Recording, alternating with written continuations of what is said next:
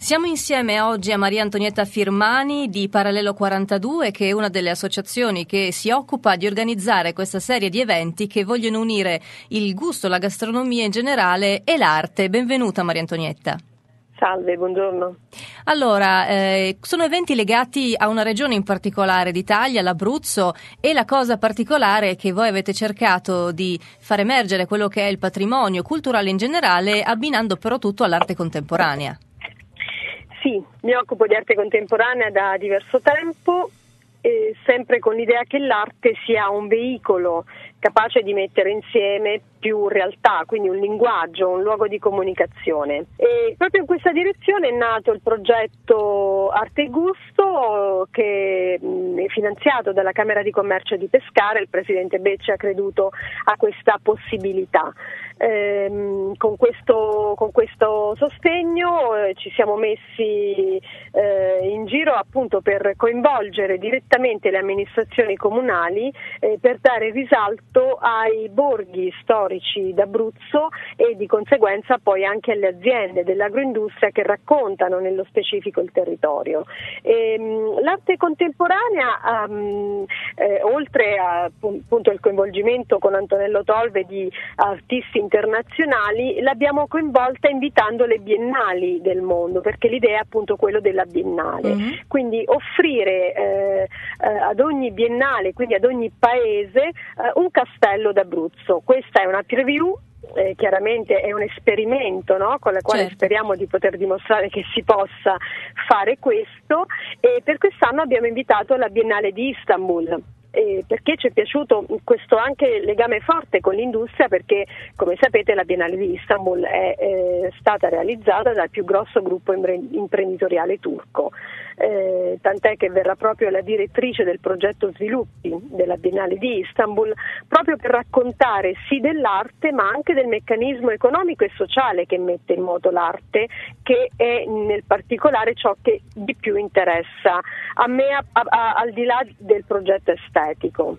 Certo, mm, giustamente l'Abruzzo è un territorio molto ricco eh, da, sotto molti punti di vista e quindi l'idea di associarla al, all'arte contemporanea, di mm, in qualche modo rendere eh, più vividi questi due settori, eh, significa che l'arte contemporanea in Abruzzo vive momenti felici?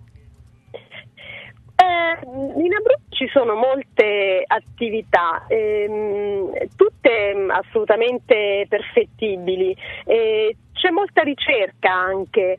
L'obiettivo è quello di mettere un po' a valore tutta questa energia, no? eh, che altrimenti rischia di andare dispersa in mille rivoli. E, ehm, mh, l'arte contemporanea del resto è sempre ricerca, quindi parlare di momento felice non lo so. Eh, riuscire invece ad ampliare il raggio, il raggio di interesse dell'arte contemporanea, questo è sempre stato un mio pallino, perché eh, pensarci bene, mm, non so se con, potete, potete, condividere, ma insomma il mondo dell'arte contemporanea, quindi con la cultura profonda che esso veicola, è un mondo molto ristretto ad una fascia di pubblico anche molto ristretta, no? sì. mm, anche rispetto so, alla musica o a tante altre eh, attività, pensiamo anche a, al mercato dell'agroindustria. E forse un allora, ambito in cui ci va un po' più di educazione. Eh sì, infatti, infatti, per esempio eh, eh, è da poco che per esempio si parla molto della Biennale di Venezia, immagino anche sui media tipo certo. TV, no? i media di massa. Ecco, invece l'arte contemporanea è, è veramente veicola messaggi molto profondi, è una ricerca molto profonda sul, sul pensiero dell'uomo. No? E allora se la società vivesse di più in questo senso, la, eh, ci fosse una diffusione maggiore anche quantitativamente, allora forse il, il livello culturale si innalzerebbe. Ecco, que, questa è un po' l'idea di fondo. Ecco perché mischiare arte contemporanea con l'industria, perché l'industria, perché comunque obiettivamente l'Italia, insomma tutto un po' il vecchio continente dell'Europa hanno bisogno di sviluppare, di, di trovare trovare nuove strade economiche e se queste nuove strade di crescita economica sono legate alla cultura abbiamo fatto bingo. Certo, quindi è un progetto che in qualche modo vuole anche proporre un'idea di riconversione del territorio. Assolutamente, sì. cioè dedicare allora si fa un gran dire che l'Italia potrebbe vivere solo di cultura, per la verità poi bisogna trovarlo questo modo, no? Certo. E allora questo è un esperimento in questa direzione e bisogna anche un po' investirci, però investire non a consumo, spesso l'arte ha forse un po' eh, come dire, la pecca dell'autoreferenzialità, no?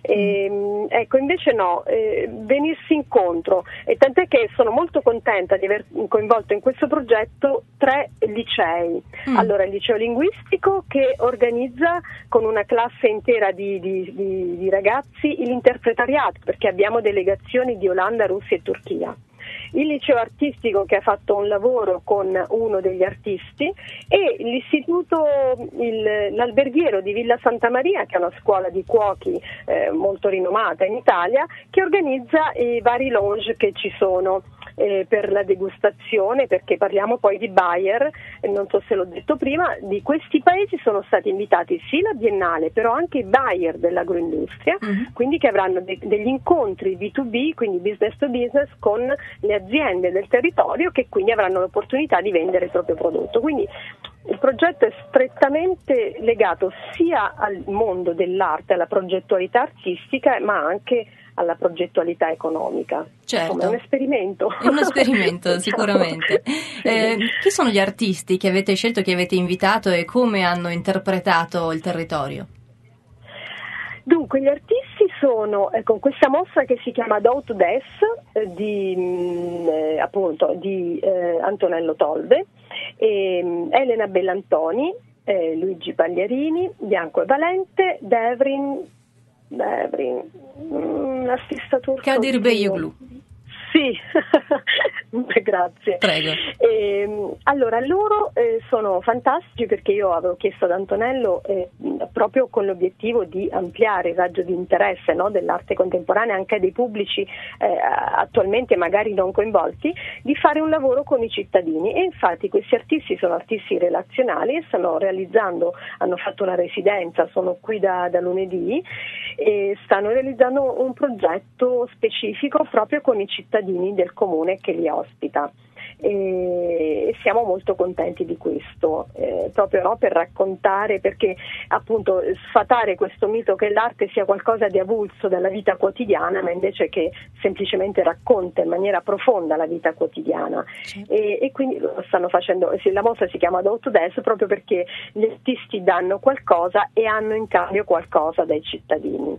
Ti chiedo ancora i riferimenti di questo progetto, uno perché ovviamente eh, sarebbe interessante invitare chiunque a eh, passare Anzi, dall'Abruzzo in questi aspetto. giorni. Volentieri... Prendete l'aereo e venite, siete i nostri ospiti. Certo, ma magari è anche un modo di visionare il sito e, e insomma proporre sì. questo, questa modalità di interconnessione tra eh, varie realtà anche in altri luoghi d'Italia. Come no? Allora, la nostra speranza è che in una, questa l'abbiamo chiamata preview, noi speriamo di poter fare la biennale vera e propria, di ospitare eh, in ogni castello, di abbinare un paese del mondo e una regione d'Italia, quindi di diventare, come dire, proprio eh, il, il luogo di vacanze per l'arte eh, anche delle regioni. Quindi ci auguriamo che anche voi sarete presenti nella, eh, in questa, sicuramente venite, siete i nostri ospiti in, in tutti que- nel tour organizzato che si, inizia domani e durerà 5, 6 e 7 novembre. Poi ci sarà un momento conclusivo il 5 dicembre con altri bei personaggi. E, ehm, e poi ecco, con la prospettiva di ampliare con più comuni e con più le altre regioni d'Italia e altre biennali del mondo. Benissimo, io ti ringrazio molto Maria Antonietta mm, per essere stati con noi e aver parlato di questo che speriamo sia solo il primo di molti appuntamenti, speriamo. di molti eventi. Grazie mille, sì. buon lavoro a Maria Antonietta Firmani.